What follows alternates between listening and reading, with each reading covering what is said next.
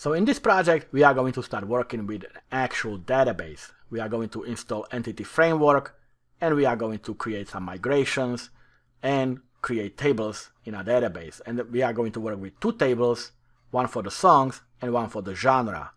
And I will show you how to link these two tables together using a foreign key. So this is a simple CRUD application that allows us to create, edit or delete records. So we have a bunch of songs. I will show you how to seed the database with uh, some sample data and of course we will code everything to be able to do the CRUD operations. So when I go to add new song, it goes to a screen that lets us add new song.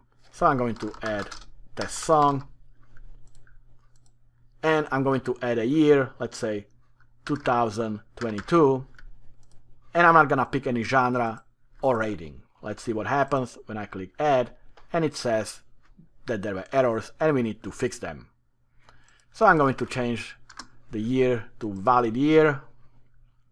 I'm going to select the genre and give it a rating, let's say 11. So when I click add, it still is not happy because rating must be 1 to 5. So we will have some user input validation right there. So I'll set the rating and add the song. And when we add the song, we are returned back to our home page and you can see the song was added right here. And then we can of course edit it. So I'm going to change the name of the song and the rating, click edit, and we go back to our home page and it shows the edited record. And of course we can delete the record, so when I click delete, it goes to a simple screen that asks to confirm deletion, I'll click delete, and the record is gone. So even though this is a simple CRUD application, there are quite a few moving parts. Like I said, we will create entity framework and use it to create a database with two tables, link them together. We will of course use MVC pattern. We will use the helper tags, but this time we will use them a little more comprehensively, especially the routing part of the helper tags. We will use the forms with hidden input to capture the ID of the record. We will use multiple migrations for the database just so that I can show you how to add migrations and how to fix migrations that didn't work properly. We will of course use error attributes to capture errors that the user may make.